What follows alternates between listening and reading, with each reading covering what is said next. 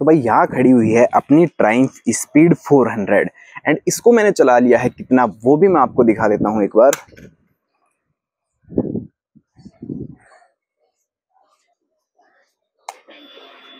Nine nine six मतलब लगभग एक हज़ार किलोमीटर मैंने बाइक को चला लिया है एंड एक हज़ार किलोमीटर चलाने के बाद ही हमें पता चल पाता है कि बाइक के अंदर क्या चीज़ अच्छी है एंड क्या चीज़ हमें थोड़ी सी कमी फील करवा रही है बाइक के अंदर कि ये चीज़ शायद थोड़ी सी ज़्यादा बेटर हो सकती थी इस बाइक में।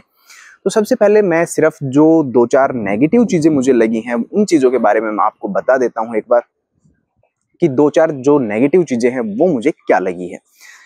सबसे पहले एक ये चीज़ है कि मैं वैसे पिलियन के साथ ज़्यादा राइड करता नहीं हूँ, लेकिन जब भी मैं पिलियन को बैठाता हूँ तो यहाँ पे और यहाँ पे। जो पैर होते हैं, मेरा पैर यहाँ पे रखा हुआ होता है, पिलियन का यहाँ पे रखा हुआ होता है तो वो आपस में टच करते हैं, एंड वो चीज़ मुझे इरिटेट करती है बहुत ज़्यादा। तो ये चीज़ शायद थोड़ी सी बेटर हो सकती थी। इसको या तो थोड़ा आगे किया जाता या इसको थोड़ा पीछे किया जाता थोड़ा इस तरीके से एडजस्ट किया जाता कि यार ये चीज़ परेशान ना करे। हालाँकि मैं तो बहुत ज़्यादा राइड मतलब पिलियन के साथ राइड नहीं करता हूँ, लेकिन कोई भी भाई अगर पिलियन के साथ राइड करता होगा तो उसको ये चीज़ परेशान ज़रूर करेगी। मतलब यार पैर टच होंगे। अगर हम शूज़ वगैरह बूट वगैरह पहन के रखते हैं तो फिर भाई पीछे टच होता रहता है, फिर वो चीज़ हमें इरीटेट कर देती है। और दूसरी एक और चीज़, मैं आपको एक बार इस बाइक के बारे में एक चीज़ बताता हूँ। खैर, वो बाइक की प्रॉब्लम नहीं है। वो मैकेनिक्स की प्रॉब्लम थी। इसकी ये वाली जो रेडिएटर वाली जो जाली लगी हुई है, ये नीचे यहाँ की साइड आप देखो, एक बार ये जो बुल्ट लगा हुआ है, ये मैंने इसको टेम्परेरी जुगाड़ करके रोका हुआ है, क्योंकि ये चलते चलते खुल के गिर गई थी भाई। ऊपर वाला भी, नीचे वाला भी दोनों खुल गया था एंड ये खुल के गिर गई थी। तो यार सर्विस वालों को इस चीज़ पे थोड़ा सा ध्यान देना चाहिए कि यार, अगर कोई चीज़ लूज हो रखी है तो उसको थोड़ा टाइट करके दिया जाए। अभी सौ किलोमीटर पहले मैंने सर्विस करवाई थी बाइक की तो यार, ऐसा नहीं होना चाहिए यार। थोड़ा सा ध्यान देना चाहिए यार सर्विस वालों को।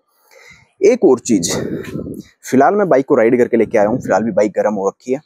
तो एक चीज़ मुझे अभी पर्सनली बाइक के अंदर फील हो रही है कि यार, जिस हिसाब की बाइक के अंदर पावर है मतलब एक लगभग 40 पीएस की जो पावर है, उस हिसाब से ये पावर प्रोड्यूस नहीं करती मतलब इतना प्रोवाइड नहीं कर पा रही है बाइक की हाँ 40 पीएस की पावर है।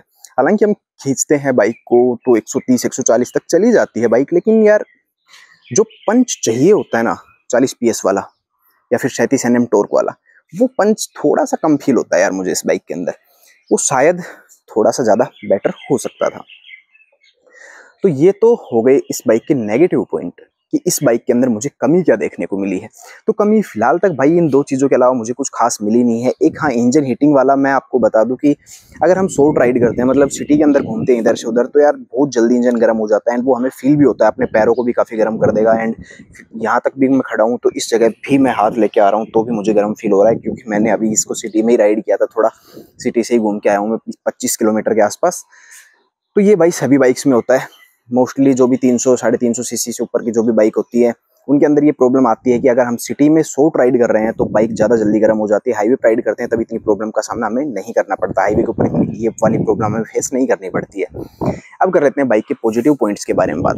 तो बाइक के अंदर जो टायर दिए गए हैं अपोलो एल्फा एच वन जिनकी क्वालिटी यार काफ़ी बढ़िया है, मुझे बहुत बढ़िया लगी है, इनकी ग्रिप वगैरह काफ़ी मामलों में मैंने इसको भाई थोड़ी कॉर्निंग वगैरह करने की कोशिश की या फिर मैंने इंस्टेंट ब्रेकिंग की कोशिश की तो उस मामले में यार इन टायर्स की परफॉर्मेंस बहुत अच्छी दी गई है। तो टायर काफ़ी अच्छे दिए गए हैं एंड उसके साथ ही साथ मैटर करते हैं सस्पेंसन की क्वालिटी जो अभी चीज़ें मैंने बताई, उसके साथ साथ टायर के साथ सस्पेंसन की क्वालिटी भी काफ़ी ज़्यादा मैटर करती है। तो सस्पेंसन क्वालिटी भी बाइक के अंदर बहुत अच्छी दी गई है।